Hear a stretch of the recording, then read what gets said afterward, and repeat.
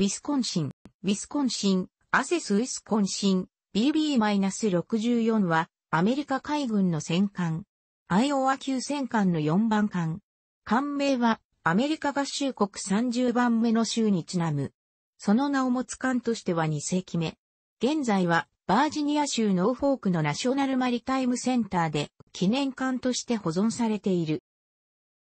ウィスコンシンは艦種分類番号が BB-64 であったが BB-63 のミズーリよりも先に完成した。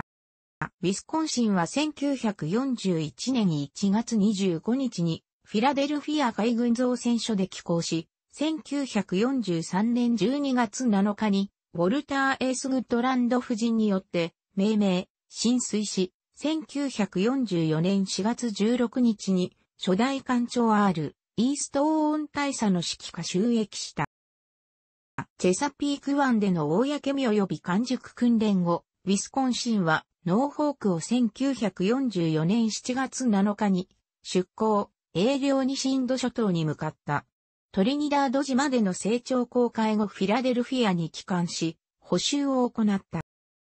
1944年9月24日に、ウィスコンシンは西海岸へ出港、パナマ運河を通過し10月2日に太平洋艦隊に合流した。その後訓練演習のため、ハワイ水域に移り、続いて西カロリン諸島に向かった。12月9日にウルシー白地に到着し、ウィリアム・ハルゼー提督指揮下の第三艦隊に加わった。ウィスコンシンはフィリピン攻略戦の最中に到着した。司令部はルソン島南方、ミンドロの南西海岸上陸を計画し、その時点からアメリカ軍は南シナ海を通過して日本の太陽航路に脅威を与えことができた。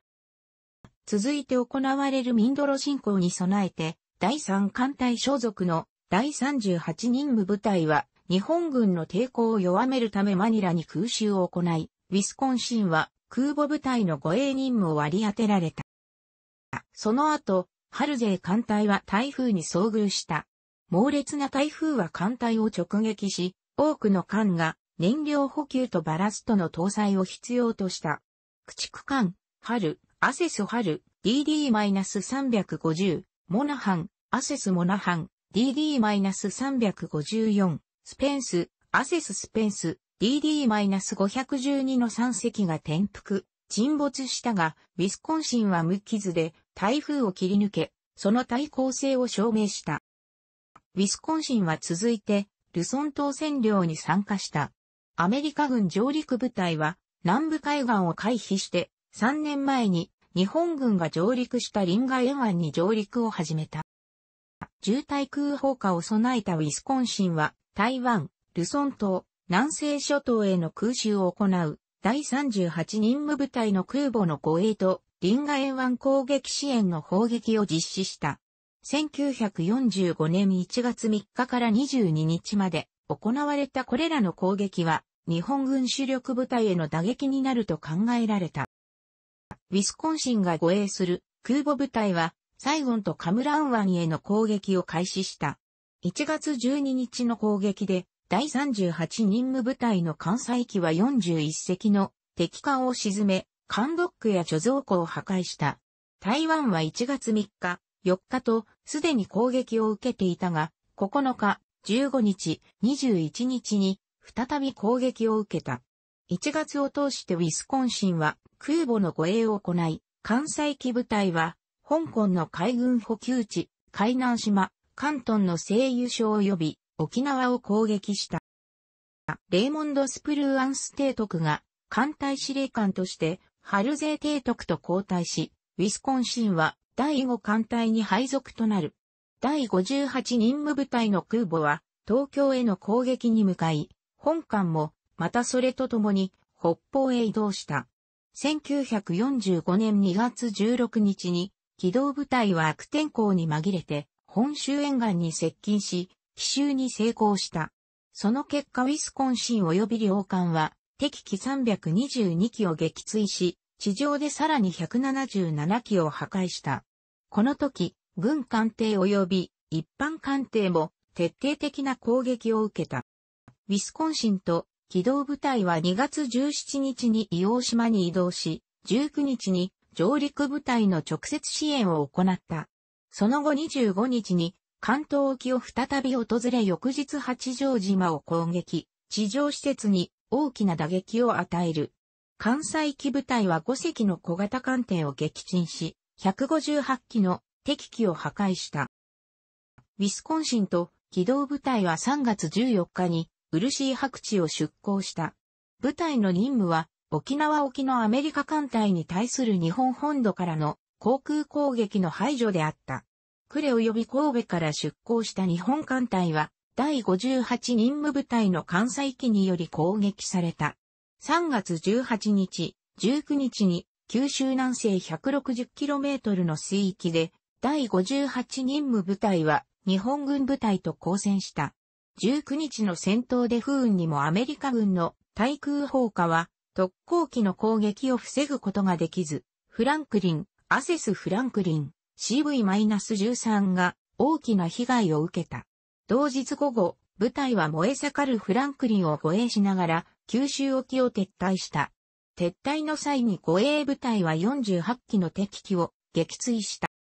ウィスコンシンは3月24日に沖縄に向けての手法による艦砲射撃を行った。部隊の他の戦艦とともに、ウィスコンシンは上陸に備えて陸上の日本軍拠点を砲撃した。日本軍の抵抗は激烈であったが、多くの航空機と熟練パイロットを失い徐々に弱まっていった。第58任務部隊は4月7日に戦艦ヤマトと交戦した。関西機部隊が大和とその護衛艦隊を攻撃している間、日本軍機はアメリカ軍艦艇への攻撃を行った。戦闘飛行偵察部隊は15機の敵機を撃墜し、艦艇からの対空射撃は3機を撃墜した。しかし1機の特攻機が防御をすり抜けハンコック、アセスハンコック、CV-19 の飛行甲板に直撃した。4月11日に日本軍は再び特攻を行う。激しい対空砲火により特攻機を迎撃し、戦闘飛行偵察部隊は17機を撃墜、艦砲は12機を撃墜した。翌日151機の日本軍機が襲来したが、ウィスコンシンをはじめとする護衛部隊の砲撃は空母への攻撃を寄せ付けず、艦へ達する直前に、それらを撃破した。しかしながら、日本軍の攻撃は、イントレピット、アセスイントレペット、CV-11、バンカーヒル、アセスバンカーヒル、CV-17 及びエンタープライズ、アセスエンタープライズ、CV-6 に損害を与えた。6月4日に艦隊は台風に遭遇した。ウィスコンシンは無傷で乗り切ったが、3隻の巡洋艦、2隻の空母と駆逐艦が深刻なダメージを受けた。攻撃作戦は6月8日に九州への空襲で再開された。日本軍の迎撃機による抵抗は散発的で事実上内に等しかった。29機が発見され破壊された。同日ウィスコンシンの水上機がシャングリラ、アセスシャングリラ、CV-38 から発進、着水したパイロットを救助した。ウィスコンシンは6月18日にレーテ湾に停泊し、修理と補給を受けた。3週間後の7月1日、随伴艦艇と共に日本本土攻撃の空母部隊護衛のために出港した。9日後、第38任務部隊の空母艦載機は関東地区の工業施設と地上に駐機された日本軍機72機を撃破した。日本軍の抵抗はほとんどなくなり、ウィスコンシン及び他の艦艇はその所在を隠そうとしなかった。7月16日にウィスコンシンは北海道室蘭市で製鉄所と製油所に艦砲射撃を実施した。その2日後には茨城県日立市の工業施設に砲撃を行った。この砲撃にはイギリス海軍の戦艦も参加した。この時点でウィスコンシンをはじめとする連合軍の戦艦は本州に対して効果的な艦砲射撃を繰り返した。第38任務部隊の艦載機は、横須賀海軍基地を攻撃し、停泊していた戦艦長門と他の艦艇2隻を破壊した。7月から8月にかけて艦載機部隊は、日本本土攻撃を行い、最後の攻撃は終戦2日前の8月13日で東京に対するものであった。2日後の8月15日に日本はポツダム宣言を受諾し太平洋戦争は終結した。ウィスコンシンは占領軍部隊の一部として9月6日に東京湾に入港した。ウィスコンシンは第二次世界大戦で10万5831マイル、17万 318km の航海を行い、敵機3機を撃墜、4機を領艦と共同で撃墜した。そして随伴駆逐艦に250回燃料を供給した。ウィスコンシンは沖縄に移動した後、9月22日に帰国する GI を上艦させた。マジックカーペット作戦の一環として、陸軍、海軍、海兵隊の兵士を乗せたウィスコンシンは9月23日に沖縄を出港した。10月4日に真珠湾に到着し、5日間停泊した5歳海岸に向かう。ウィスコンシンは10月15日にサンフランシスコに到着した。1946年1月初めに東海岸に向けて出港。1月11日から13日にかけてパナマ運河を通過し、1月18日にバージニア州ハンプトンローズに到着した。続いてグアンタナモ湾に向かい、その後オーバーホールのため、ノーフォーク海軍造船所入りした。夏の数ヶ月を使って修理、改造を行い、その後ウィスコンシンは南アメリカ水域に向けて出港し、ウィスコンシンは11月1日から6日までチリのバルパライソに停泊、9日から13日まではペルーのカラオ、16日から20日まではパナマのバルボア、22日から26日までは、ベネズエラのラグアイラ訪れた。12月2日には、ノーフォークに帰還した。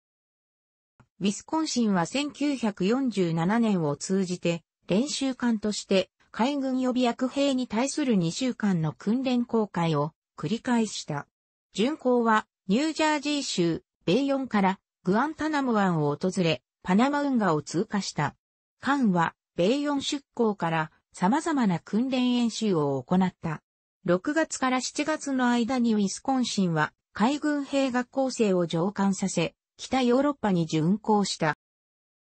1948年1月にウィスコンシンは不活性化を命じられ、7月1日に予備役となりノーフォークの大西洋予備役艦隊入りした。しかしながら、モスボール状態での保管は、1950年6月に勃発した朝鮮戦争により比較的短期間に終わった。ウィスコンシンは1951年3月3日に艦長トーマス・バローズ大佐の指揮火災収益し、成長訓練後、ウィスコンシンは海軍兵学校生の訓練巡航を2度行い、士官候補生たちを乗せて、スコットランドのエチンバラ、ポルトガルのリスボン、ノバスコシア州ハリファックス、ニューヨーク、キューバのグアンタナモ湾を訪れ、ノーフォークに帰還した。ニューヨーク湾を出港する際、海底の泥に座礁したが、船体への損害はなく8月23日に無事、離礁した。ウィスコンシンは1951年10月25日にノーフォークを出港し太平洋に向かった。10月29日にパナマ運河を通過し、11月21日に日本の横須賀に到着した。同地でニュージャージー、アセスニュージャージー BB-62 と交代して第7艦隊司令官 HM マーティン中将の機関となった。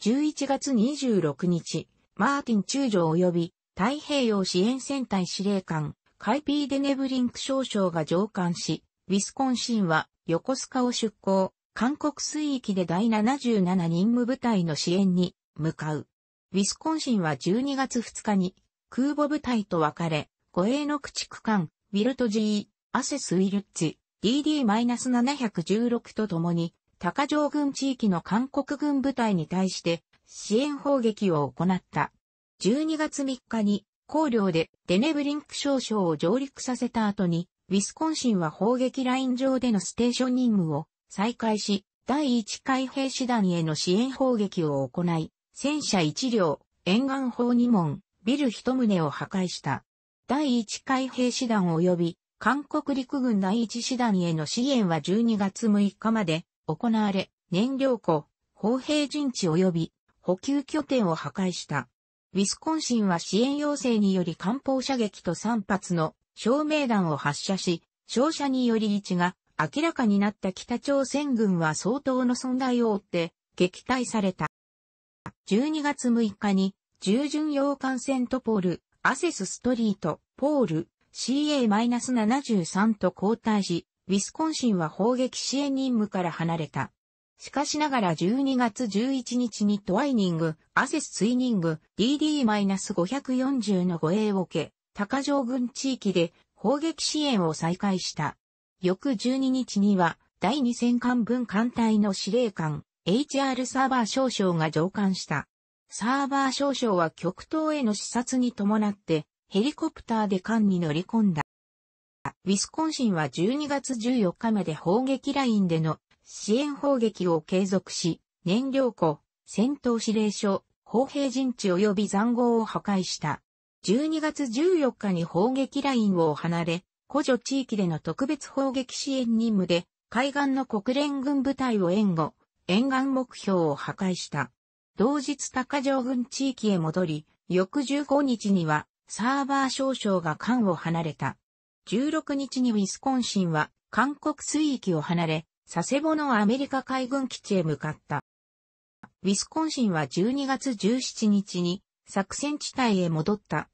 翌18日にミシガン州選出上院議員ホーマー、エス・ファーガソンが上官、同日晩、韓国陸軍第11師団に対し、照明弾を発射して支援を行った。12月19日に砲撃ラインを離れ、ファーガソン議員はヘリコプターで空母バリー法事、アセスバレー法事、CV-45 へ移乗した。4月1日に姉妹艦アイオワ、アセスアイオワ、BB-61 と第7艦隊機関任務を交代したウィスコンシンは横須賀を出港し、帰国の途に着く。途中グアムに立ち寄り、4月4日、5日に海軍最大の浮きドックの試験を行った。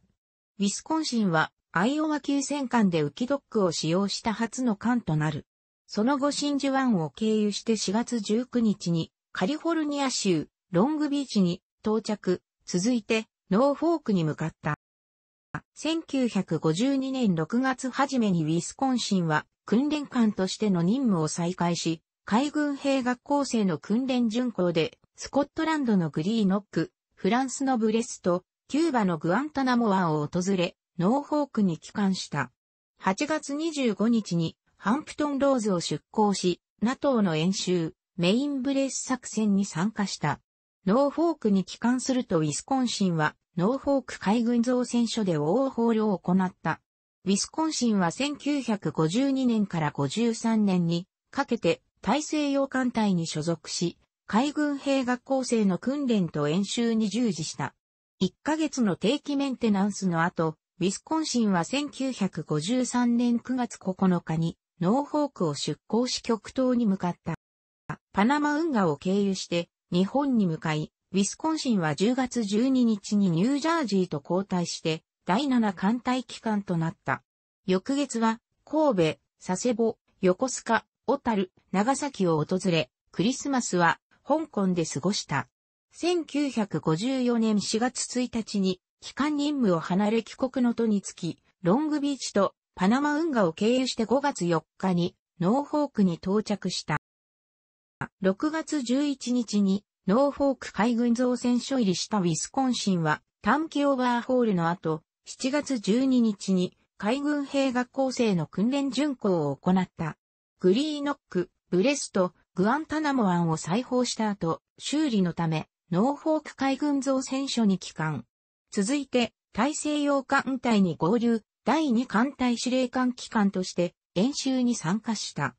1955年1月にノーフォークを出港、スプリングボード作戦に参加し、この間にハイチのポルトープランスを訪問、ノーフォークに帰還するとその年の夏は再び海軍兵学校生の訓練巡航を行い、エジンバラ、デンマークのコペンハーゲン、グアンタナモ湾を訪問した。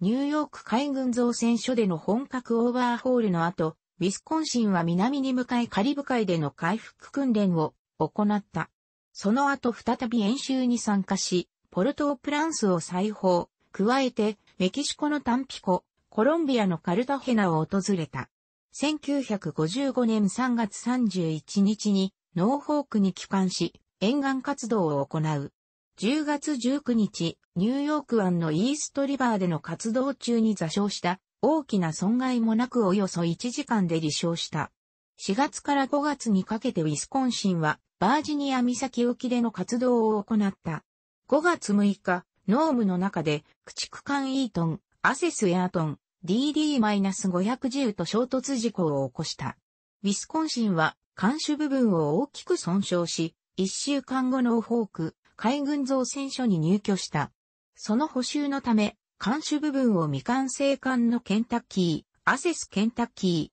ー、BB-66 から移植することが決定された。ケンタッキーは艦首から68フィート、21メートルを切断し、120トンの艦首部分は艀によって、ニューポートニューズ海軍造船所からハンプトンローズ、横切り、ノーフォーク海軍造船所まで運ばれた。ウィスコンシン乗員及び造船所員の昼夜を問わない作業により、艦首の接合は16日間で完了した。1956年6月28日、ウィスコンシンは出港準備を完了した。ウィスコンシンは7月9日に海軍兵学校生の訓練任務を再開した。その年の秋、カロライナの沖合で大西洋艦隊の艦隊演習に参加し、1956年11月8日に帰還した。一週間後ノーフォーク海軍造船所入りし、広範囲な補修が行われ、作業は1957年1月2日に完了した。1月3日、4日及び9日から11日まで、バージニア岬沖で活動した後、1月16日にノーフォークを出港、グアンタナモ湾で艦隊訓練部隊に合流した。ウィスコンシンはヘンリー・クロメリン少将の旗艦として2月2日から4日まで、プエルトリコのクレブラ島沖で艦砲射撃訓練及びその他の演習を行った。訓練を完了し7日にノーフォークに帰還、沿岸での活動を再開した。3月27日に地中海に向けて出港し、4月6日にジブラルタルに到着、第60任務部隊と共にエーゲ海を巡航し、トルコで NATO の演習、レッドピボットに参加した。4月14日にゼロス湾を出港、4日後にナポリに到着し、ウィスコンシンは地中海東部での訓練を行った。それらの訓練の途中、墜落した空母フォレスタル、アセスフォレストル、クバマイナス -59 関西機のパイロットと乗組員を救助している。5月10日にスペインのバレンシアに到着し、3日後にスペインの軍人及び市民を上艦させた。バレンシアを4月17日に出港、ウィスコンシンは5月27日にノーフォークに到着し、LS パークス少将がクロメリン少将と交代して第二戦艦分艦隊の司令官として着任した。海軍兵学校生を乗せたウィスコンシンは6月19日にノーフォークを出港し、南米への訓練巡航を行い7月3日にバルパライソに到着した。その8日後、パナマ運河及び大西洋へと向かった。グアンタナモ湾、クレブラ島沖での訓練後、ウィスコンシンは8月5日にノーフォークに到着し、9月まで沿岸での活動を行った。その後北、大西洋を横断して、ナトー軍の演習に参加し、イギリス諸島へ向かった。ウィスコンシンの現役任務は残りわずかであった。1957年11月4日、最後の巡航に向けて著名人のゲストを多数、上艦させノーフォークを出港し、6日にニューヨークに到着、ゲストを下艦させると8日に、ニュージャージー州、ベイヨンに向かい、不活性化オーバーホールに入った。1958年4月8日にベイヨンで予備役となり、予備役艦隊入りした。それは1896年以来、初めてアメリカ海軍の現役任務から戦艦が姿を消した日であった。ウィスコンシンはフィラデルフィア海軍交渉に移動し、姉妹艦のアイオワと共に1980年代まで保管されるととなる。1991年のソ連崩壊に伴い、アメリカ合衆国に対する脅威は低下し、国防予算の徹底的な削減が行われることになった。戦艦を運用する高額なコストは、効果のない消費と考えられた。その結果、ウィスコンシンは1991年9月30日に退役した。本艦は1996年10月15日にノーフォーク海軍造船所に移動した。2000年12月7日にウィスコンシンはノーフォークから牽引され、ナショナルマリタイムセンターに隣接して停泊した。ウィスコンシンの露天甲板は一般に公開されたが、艦は海軍によって所有され、予備役艦隊の一部であった。ウィスコンシンは1996年の国防認可法によって維持される2隻の戦艦のうちの1隻として指定されたもう1隻はアイオワ。しかしながら2006年の国防認可法は海軍長官によるアイオワとウィスンシンの除籍を認め、両艦が博物館として寄贈されることが可能となった。アイオワとウィスコンシンは2006年3月17日に公式に除籍された。ウィスコンシンは除籍されたが、現在も寄贈されずにある。アイオワとウィスコンシンを除籍する前に領艦を維持するコストが計算されたが、10ヶ月のプログラムで4億3、0ドル、14ヶ月のプログラムで5億ドルを要すると算出された。ウィスコンシンは第二次世界大戦の先行で5つの、朝鮮戦争の先行で一つの従軍聖賞を受賞し、湾岸戦争の先行で海軍部隊士勲章を受賞した。楽しくご覧になりましたら、購読と良いです。クリックしてください。